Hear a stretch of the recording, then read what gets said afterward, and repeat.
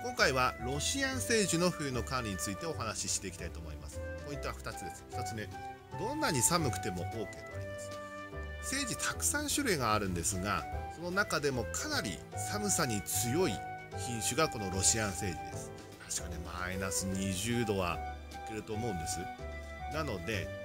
大体の地域であれば屋外で越冬が可能です。そして次枝を切りすぎないことと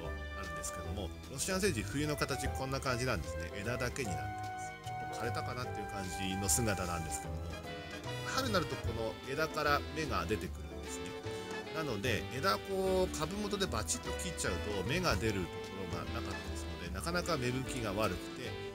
えー、株の勢いも少ないというような形になっちゃうので枝はあまり切らない方がいいと思います。でどんなに寒くても OK というふうに書けましたけども雪い地域はこれ枝折れちゃう場合があるのでそういう場合はこう短くですね、